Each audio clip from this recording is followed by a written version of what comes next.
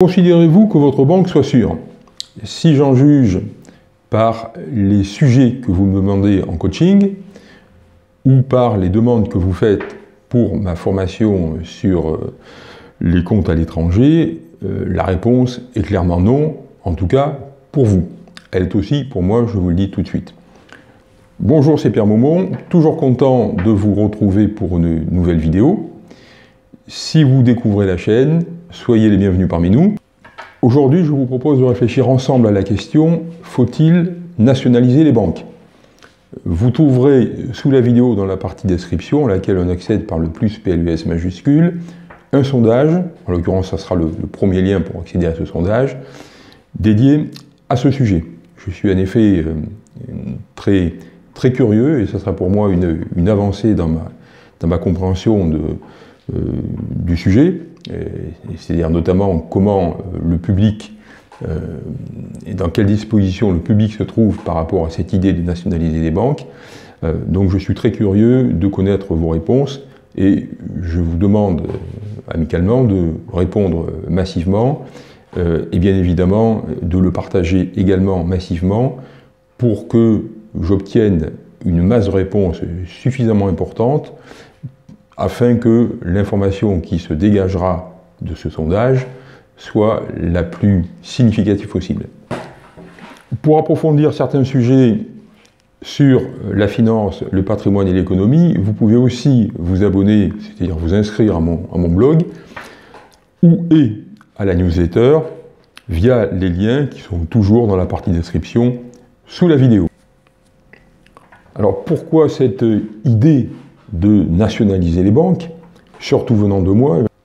Pourquoi vous parlez de, nationalisation alors qu'actuellement personne n'en parle? C'est parce que notre système bancaire, qui est fondé sur une très grande liberté laissée aux banques, non seulement ne fonctionne pas, mais fonctionne de plus en plus mal, et d'une manière qui est devenue tellement grave que les interventions qu'on est obligé de faire pour essayer d'empêcher son effondrement mènent tout droit à l'effondrement de la finance, du système financier, du système économique et du système monétaire. C'est ce que je vais essayer de vous expliquer dans les secondes qui viennent. Il faut rappeler quels sont les dysfonctionnements de ce système bancaire. Le premier, le plus évident, auquel d'ailleurs vous êtes sensible, c'est pour ça que je, commençais ma vidéo par, cette question sur la sécurité, c'est l'insécurité, l'insécurité des banques aujourd'hui, c'est-à-dire l'insécurité des dépôts et donc l'insécurité que subissent les clients, donc déposants et épargnants, qui confient euh, leur, leur liquidité et leur épargne au système bancaire. Cette insécurité a été institutionnalisée, codifiée et rentrée dans la loi par euh, le truchement d'une directive européenne qui s'appelle, de fait de, l'Union européenne, qui s'appelle la BRRD, qui, a donc été transposée, comme on dit, dans les lois nationales en 2015-2016 ou 2014-2015-2016 sur les pays. Nous, ça a été 2016, et cette BRRD, c'est elle qui instaure le fameux BEIN. Donc, je, je rappelle à ceux qui n'auraient plus en tête ce que ça veut dire. Le BEIN, c'est donc l'autorisation pour une banque en difficulté grave, euh, non seulement d'entraîner les actionnaires dans, sa chute, ce qui est le lot normal des actionnaires, c'est quelque part la noblesse de l'activité d'actionnaire, on touche des dividendes, éventuellement on a des, parts qui, s'enrichissent, enfin qui, augmentent de valeur, mais on peut aussi perdre, on peut aussi tout perdre. Donc là, il y a de nouveau sous le soleil. Euh, c'est aussi euh, donc la possibilité de ne pas rembourser ce qu'on appelle les obligataires, c'est-à-dire les gens qui ont prêté de l'argent à la banque en contrepartie d'un titre qu'on appelle une obligation. Là aussi, il n'y a rien de nouveau sous le soleil. Quand une société fait faillite, euh, ben, ses prêteurs euh, coulent avec. Bon, il y a quand même un système pour essayer de les indemniser à partir de ce qui restera de la dépouille de la bête. Euh, et puis, la nouveauté réelle, c'est que désormais, la banque peut, est autorisée à ne plus, à ne pas rendre leur argent à ses clients. C'est-à-dire que vous avez de l'argent qui est déposé en banque, la banque peut très bien ne pas vous le rendre en disant je suis en situation difficile, Donc, comme la loi m'autorise à le faire, je garde votre argent et désormais c'est mon argent. D'ailleurs, ça a toujours été juridiquement son argent, mais le droit de créance que vous avez sur l'argent que vous m'avez laissé, désormais, n'existe plus. Pour prendre un, certain recul par rapport à, ces choses-là, et euh, on se pince en, se demandant est-ce que je rêve? Est-ce que c'est sérieux? On est donc dans un univers dans lequel les banques, c'est-à-dire qui sont des organismes qui ont été inventés pour permettre aux gens, aux ménages, de pouvoir déposer leur argent en sécurité, en tout cas plus en sécurité que s'ils le gardaient chez eux, euh, et, leur épargne, et, que tout cela euh, donc favorise le fonctionnement euh, de l'économie, les banques ont l'autorisation de ne pas nous rendre notre argent. C'est hallucinant. C'est proprement. là, on marche, sur la tête. Et ce qui est vraiment étonnant, et je vais un peu m'étendre sur ce sujet dans les minutes qui viennent, c'est que personne ne s'en émeut.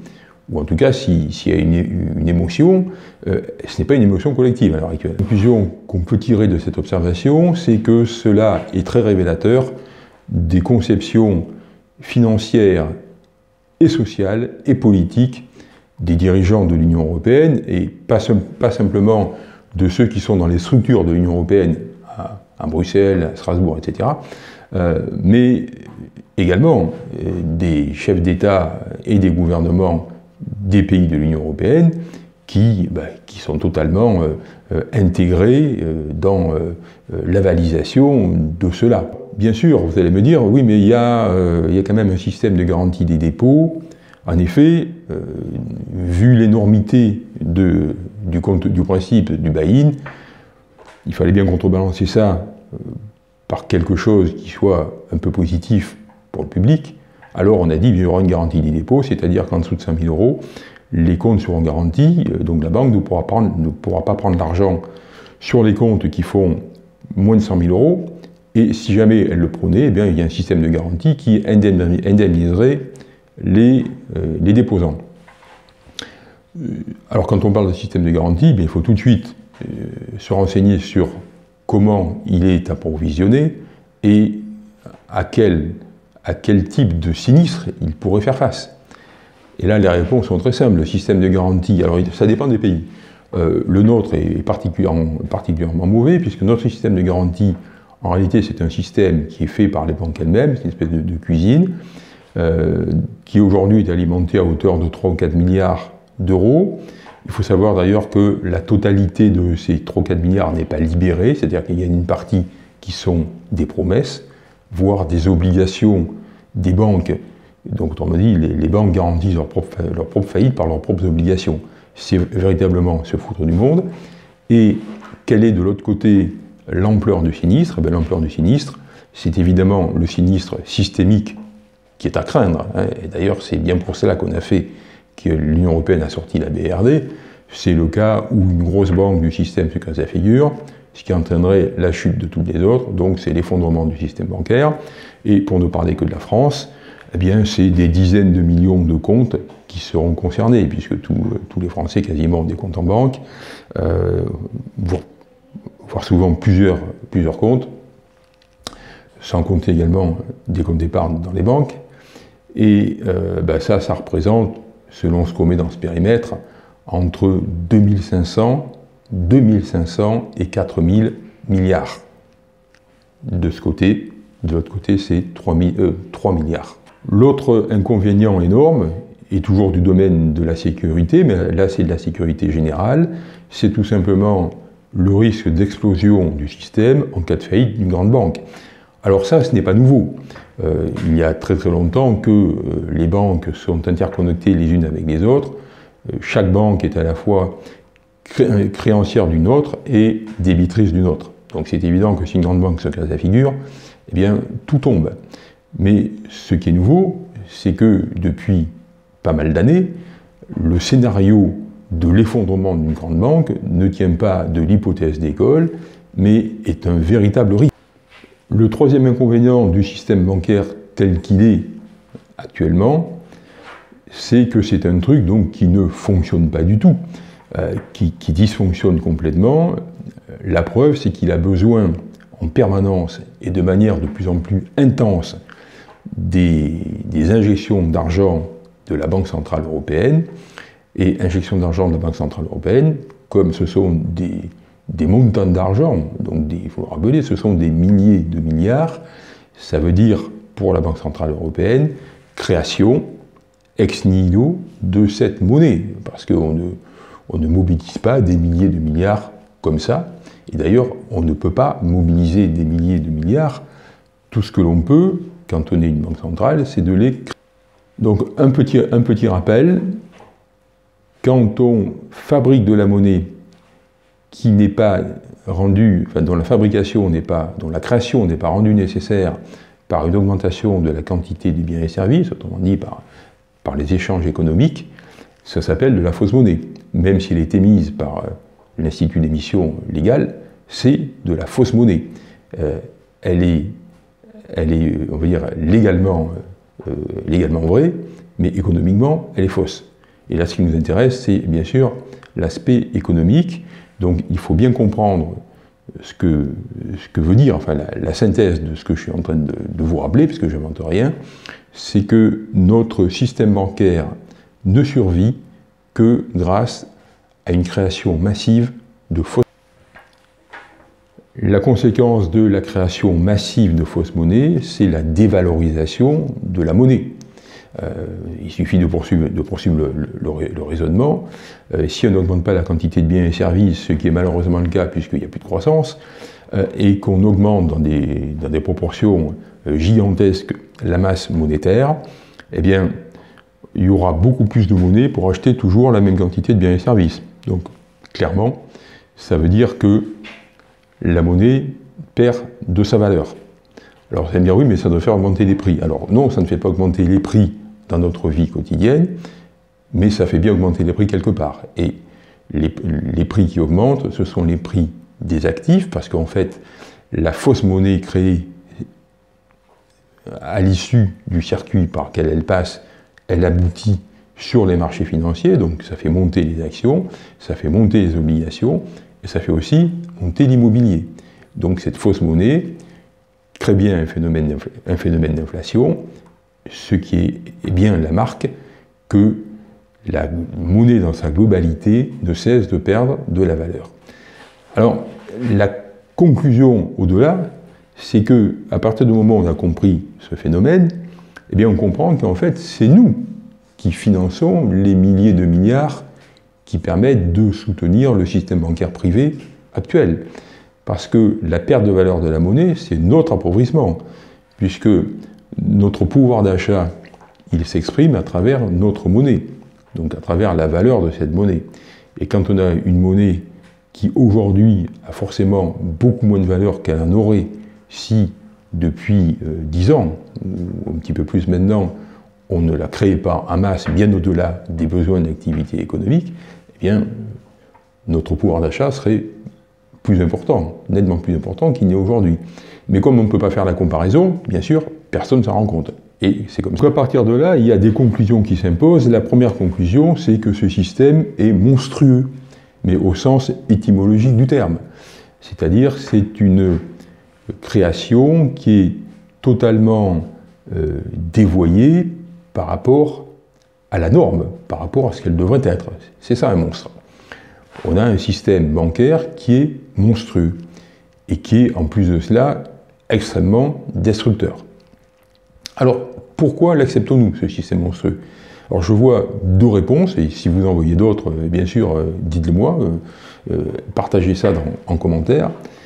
La première, qui est une réponse universelle pour expliquer les détériorations profondes des situations dans les sociétés humaines, c'est que ça s'est mis en place progressivement. Ça s'est fait ça s'est fait étape après étape. On a, il y a longtemps que on subventionne les banques euh, par la fausse monnaie de la Banque centrale, mais euh, au début, ça a été relativement massif avec la crise de 2008 parce que ça avait un caractère exceptionnel, donc on l'a compris. Ce qu'on n'a pas compris, c'est que finalement, c'est nous qui payons ce truc. et puis après, ça a recommencé doucement, et puis ça a accéléré, et puis de nouveau, on a commencé à délirer avec le financement de la crise du Covid. Et à, partir, à partir de là, les gens sont habitués depuis longtemps et ne percutent pas.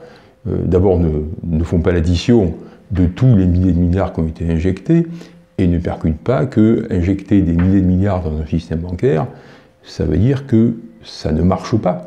Et qu'en plus de cela, ça, va forcément dérégler de manière dramatique les fonctionnements du système financier, du système économique et de... Le deuxième élément, c'est que malgré la spoliation à laquelle revient ce système, à travers la, perte de valeur de la monnaie, donc la, spoliation dont nous sommes victimes, nous les citoyens, nous, les ménages, c'est que les gens ne se rendent pas compte qu'on leur prend leur argent aussi longtemps qu'on ne leur prend pas directement dans la poche. Et là, le moins qu'on puisse dire, c'est que euh, la façon dont on nous prend notre argent euh, est loin d'être une façon directe, elle est très indirecte et très sophistiquée. La deuxième, conclusion, il n'y a pas besoin de passer beaucoup de temps dessus, c'est que le système est mort, euh, puisque les, les, flots d'argent qu'on déverse dans, dans, les, dans, les, banques et qu'on est obligé de continuer à déverser et de déverser de plus en plus, bah, ça signifie bien que... La troisième conclusion, c'est que la suite est binaire. Soit, soit on continue dans cette voie qui nous mène à la ruine, soit on prend acte que c'est depuis longtemps l'argent public qui permet aux banques de continuer d'exister, et puisqu'elles existent par de l'argent public, ce ne sont plus des entreprises privées qui doivent fonctionner, euh, qui peuvent fonctionner, et on les nationalise. Bien évidemment, on ne va pas supprimer les banques, on en a besoin. Donc il ne reste plus qu'à la nationalisation des banques ne résoudrait pas comme par magie, la crise bancaire, puisque la raison principale de cette crise est extérieure aux banques elles-mêmes. Euh, c'est un premier stade d'analyse, euh, c'est l'effondrement des taux d'intérêt qui, les empêche de fonctionner normalement, enfin de faire, de faire des marges normales, ce qui les oblige, pour pouvoir continuer à payer leurs actionnaires, à augmenter considérablement, essayer d'augmenter considérablement leur chiffre d'affaires, alors même qu'elles n'ont pas les capitaux propres pour le faire, donc ce qui les met toujours et en arrière-plan de ce phénomène de taux d'intérêt, il y a tout simplement l'endettement gigantesque euh, qui, euh, bah, qui, frappe euh, les sociétés occidentales, les, grandes, les, grandes, économies, en particulier depuis, depuis la crise de 2008 et qui n'a cessé de s'approfondir. Et c'est pour rendre cet endettement supportable que les banques centrales ont quasiment annulé les taux d'intérêt. Donc on voit bien que le problème est à la base un problème macroéconomique, un problème de, politique économique, un problème de, performance, de performance insuffisante de l'économie et un problème, on va dire, de, de manière générale, de dépenses excessives de la société, dont l'État, par rapport. Dans ce contexte-là, eh les banques privées ne peuvent pas fonctionner, la démonstration en est largement faite. À partir de là, la nationalisation aurait, à mon sens, deux avantages immédiats. C'est que les fleuves de monnaie qui permettent de maintenir les banques dans l'apparence de la vie depuis déjà n'arriveront plus, euh, du moins en partie, à faire bénéficier les, dirigeants, les grands dirigeants, les équipes dirigeantes de ces banques euh, d'émoluments euh, absolument pharaoniques et scandaleux compte tenu de ce qu'est la réalité économique des entreprises qu'il dirige, ni non plus, il n'y aura plus besoin de, euh, détourner une partie de ces versements pour, financer les actionnaires, qui évidemment ont, tout à fait le droit d'être rémunérés en tant qu'actionnaires, mais si elles sont nationalisées, il n'y aura plus d'actionnaires. Et cet argent économisé leur permettra de renforcer leurs fonds propres ce dont elles, dont elles ont. Le deuxième avantage, et là on est euh, dans le fondamental, c'est que l'État, s'il devenait actionnaire unique ou, actionnaire qui pèse très lourd dans le tour de table des banques, pourrait les recapitaliser. Alors je sais bien que l'État n'a pas d'argent, mais il peut emprunter s'il le faut. On l'a vu avec la crise du Covid, l'État garantit à hauteur de 300 milliards euh, d'euros euh, tout, un, ensemble de prêts. Euh, et ce n'est pas que des garanties d'ailleurs, c'est aussi des dépenses qu'il a, qu'il a engagées, et ces dépenses, il a, a financées tout simplement à partir de l'emprunt. Alors, il faut, quand on parle de choses comme ça, il faut évidemment essayer de, de mesurer quels sont les, chiffres en, question pour voir si les choses tiennent debout. Eh bien, la capitalisation des trois premières banques françaises, c'est-à-dire euh, euh, la BNP, euh, le groupe Crédit Agricole et la Société Générale, globalement, c'est à peu près 80 milliards d'euros. Donc, 80 milliards d'euros, si on voulait recapitaliser sérieusement ces banques, je pense qu'il faudrait doubler leur capital. Doubler ou multiplier par 2,5 ou, ou doubler le capital et en, prenant des dispositions pour limiter euh, le volume d'affaires des banques euh, de manière à ce que les leviers, donc autrement dit leur solvabilité, demeurent, demeure correcte. Autrement dit, il faudrait euh, lever sur les marchés financiers quelque chose comme 80 ou 100 milliards d'euros. Finalement, c'est pas, pas colossal. Euh, Au-delà de ces deux aspects immédiats et évidents, c'est bien sûr, du point de vue stratégique, la reprise en main par la puissance publique d'un système qui part complètement à la dérive et qui, bah, qui sombre dans, euh, dans une espèce de, de, folie. Donc voilà ce que je voulais vous dire sur ce, sujet. Voilà, quelles sont les idées qui, me, sont venues, euh, non pas comme ça en premier jet, mais en, réfléchissant, en commençant à passer un peu de temps à réfléchir à ça. Euh, le sondage dont je vous parlais, c'est-à-dire le sondage pour savoir ce que vous, vous pensez de cette idée euh, de nationalisation des banques en tant que solution à la crise bancaire que, nous connaissons, notamment en tant que solution pour la sécurisation de nos dépôts. Donc ce sondage est dans la partie description sous la vidéo, c'est le premier lien. Alors, soit ce lien sera visible d'ailleurs à quelques centimètres sous la vidéo, soit il faut cliquer toujours sur le plus PLUS, sur le plus PLUS majuscule pour, pour y accéder. Alors, encore une fois, euh, je, serais vraiment euh, content que vous y répondiez massivement, peu importe ce que vous dites dans le sondage. D'ailleurs, ce qui m'intéresse, c'est de connaître la, vérité qui ressortira de ce sondage, et bien sûr que vous le partagez également massivement, puisque euh, si vous êtes euh, un millier à répondre au sondage, c'est un niveau de, valeur en ce, qui, concerne la validité des réponses qui en sortent. Maintenant, si vous êtes 20 000 ou 50 000, c'est autre chose. Et je préférerais qu'on soit dans le deuxième cas. La vidéo est terminée. J'espère que le sujet vous a, intéressé. Si c'est le cas, bien sûr, levez le pouce. C'est le geste capital du, supporter de, toute chaîne YouTube. Euh, commentez, c'est très important. Partagez. Et puis, je vous dis à très bientôt.